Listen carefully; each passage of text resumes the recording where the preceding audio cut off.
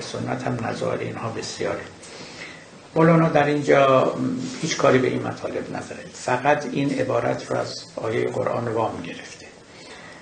برای اینکه منظور خودش بیان کنه. می‌گوید که در این عالم ما دو دریا داریم. دو چشمه داریم. یک چشمه شیرین یک چشمه تلخ ظاهرش اینه که اینا به هم هم میآمیزن.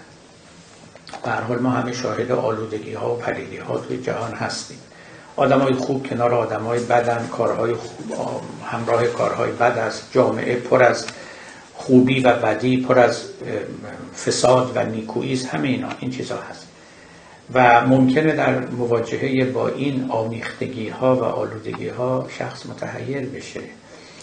می‌گوید که کسانی که صاحب ذوقند یعنی صاحب ذائقند قوه چشایی شد قوی آب تلخ از آب شیرین تمیز میدن و اگر چشمان بینا داشته باشن حق رو از باطل تمیز میدن. این خلاصه مطلبه. خود مولانا معتقد است که در جهان رگرگ است این آب شیرین و آب شور در خلائق می رود تا نفخ سور. اصلا دنیا آمیختگی است از آب شیرین آب شور ما آب شور خالص نداریم. آب شیرین خالص هم نداریم. اصلا تو این دنیا خلوص نداریم. من خیالتون راحت کنم. همه چیز آمیخته به چیز دیگری است به درجات مختلف.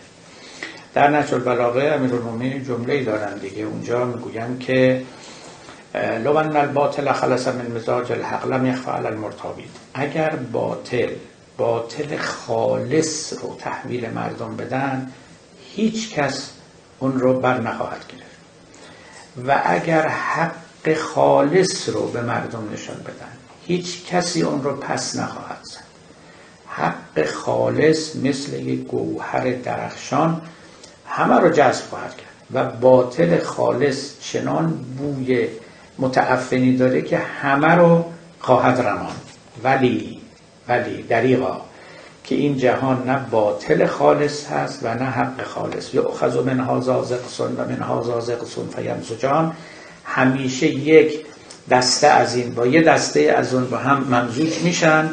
اون وقت راه تشخیص دشوار می شود ازا ما توی جهان آمیختگی ها و ناخالصی ها زندگی می کنیم خب خود ادیان رو شما ببینید. بالاخره ادیان آمدن پیامبران آوردن وحی خودشون رو با مردم در ولی بعدا آمیخته شد. به هزار چیز دیگه. به هزار چیز دیگه. همین که سرشون رو زمین گذاشتن اولین کاری که کردن این بوده روایت به نام پیغمبر جعل کردن. همینجا آمیختگی شروع شد. بالاخره حق و باطل به هم مخلوط شد. سر تفسیر قرآن سر تاریخ پیغمبر که ایشون چه گفت چه کرد منظورش چه بود سر تمام اینا اختلافات شد. تازه بعضی اختلافات مؤمنانه بود یعنی خالصانه بود صادقانه بود حقیقتا می‌خواستن بفهمن اما خب مختلف میفهمیدن. بعضیش هم که خسمانه بود منافقانه بود. کسانی می اصلا برای تخریب برای ویرانگری برای جعل و برای خراشیدن روی زیبای این حقیقت.